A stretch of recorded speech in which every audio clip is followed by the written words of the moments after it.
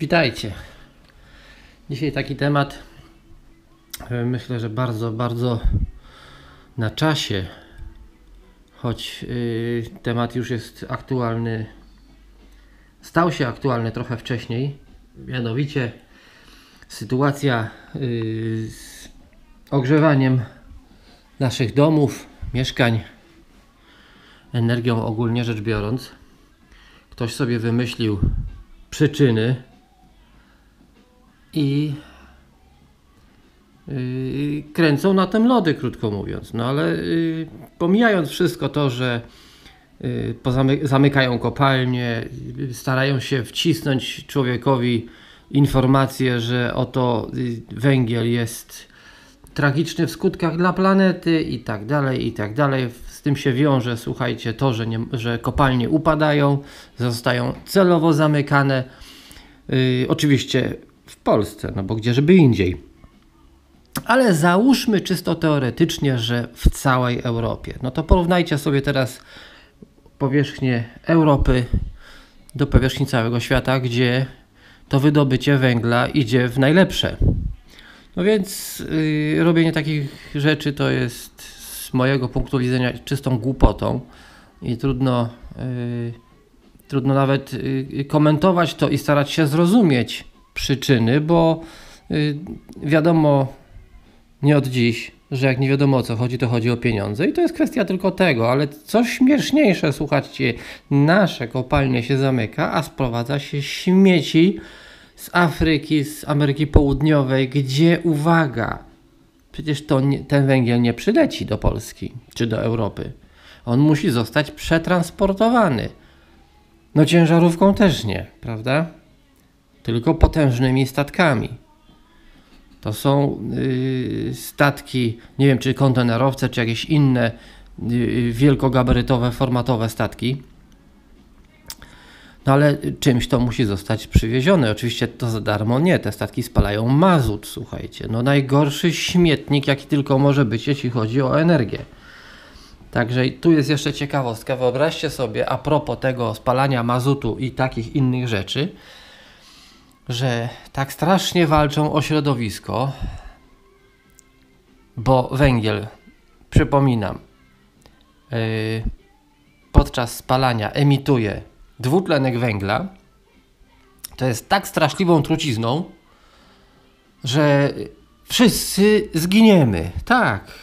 No ale zobaczcie z drugiej strony, no przecież dwutlenek węgla jest niezbędny do życia wszystkim roślinom. A więc ktoś tu po prostu ściemnia, bo im większa ilość, nawet ci, którzy na przykład mają akwaria, tu jest bardzo dobry przykład, ci, którzy mają akwaria, jeżeli i, i, i potrzebują właśnie, mają ciekawe, bardzo, bardzo wyjątkowe rośliny, słuchajcie, jest sprzedawany dwutlenek węgla w butlach, który się tam podłącza do filtra i on jest w mikrodawkach uwalniany w akwarium. Co się wtedy dzieje? Słuchajcie, akwaria są tak niesamowicie zielone, zarastają wszystkim, co jest tylko możliwe, rozwijają się organizmy, których normalnie w akwarium nie ma, w sensie zielone organizmy, glony, porosty, mchy, różne cuda na kiju tam się po prostu dzieją i potem taki akwarysta sobie nie może z tym poradzić. No więc jakaż to trucizna, ten dwutlenek węgla. No ale wróćmy. Wróćmy do, do sprowadzania tych, tego, no trudno to nazwać węglem, ale niech będzie węgla z Ameryki Południowej, czy też z RPA, czy z innych miejsc w Afryce, przychodzi do Polski. No i on jest w tym momencie, ze względu na koszty samego transportu, już jest nieopłacalny, bo bardzo często transport przekracza wartość tego węgla. No i chłopi, słuchajcie, tak, rolnicy, nie po raz pierwszy w życiu już, ale wcześniej to było różnych pobudek stosowane, ale w większości na przykład tego a nie zdążył kupić, a mu się nie chciało i takie zwykłe życiowe sprawy. Słuchajcie, zaczęli palić zbożem. Dlaczego? Bo to na zboża kosztuje, nie wiem, 1500 zł. A to na węgla?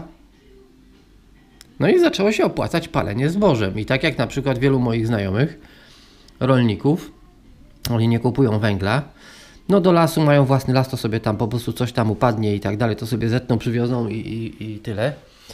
y, więc to jest też bardzo dobry y, opał, drewno, ale słuchajcie, zboże. Palenie zbożem stało się opłacalne. Co za tym idzie?